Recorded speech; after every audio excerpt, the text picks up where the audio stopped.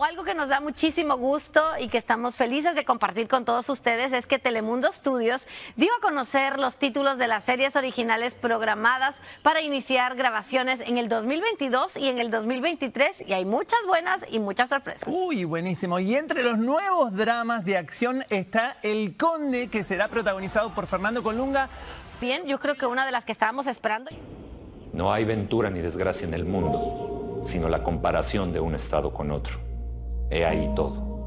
Solo el que ha experimentado el colmo del infortunio puede sentir la felicidad suprema.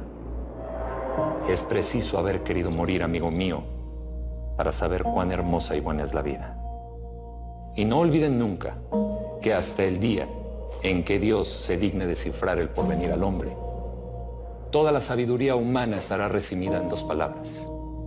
Confiar y esperar. Edmundo Dantes conde de Montecristo. Lo anticipamos con mucho, mucho amor aquí en su casa de Telemundo.